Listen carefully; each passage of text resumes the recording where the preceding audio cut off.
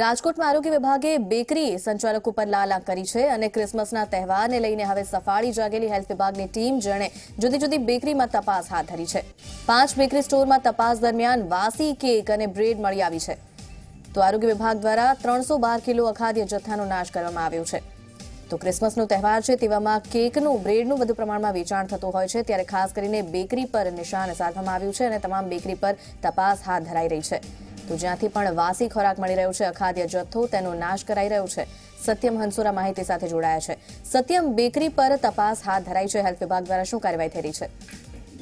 ચોક્કસથી ક્રિસમસનો તહેવાર ખૂબ નજીક આવી રહ્યો છે. ત્યારે આ તહેવારને ધ્યાનમાં રાખીને રાજકોટ આરોગ્ય વિભાગ અત્યારે સતર્ક થયું છે અને રાજકોટમાં જેટલી નામાંકિત જે બેકરીઓ કહી શકાય એટલે કે પાંચ જેટલી જે બેકરી સ્ટોર છે કે ત્યાં આરોગ્ય વિભાગની ત્રણ જેટલી ટીમ દ્વારા ચેકિંગ હાથ ધરવામાં આવ્યું હતું અને આ ચેકિંગ દરમિયાન ત્રણસો બાર કિલો જે અખાદ ખોરાકનો જે જથ્થો છે તે મળી આવ્યો હતો. તેનો સ્થળ પર નાશ કરવામાં આવ્યો હતો. અખાદ જથ્થાની વાત કરવામાં આવે તો વાસી કેક વાસી બ્રેડ લોટ, પાઉ સહિતની જે અખાદ્ય વસ્તુઓ છે તેમનો નાશ આરોગ્ય વિભાગ દ્વારા કરવામાં આવ્યો છે. જી.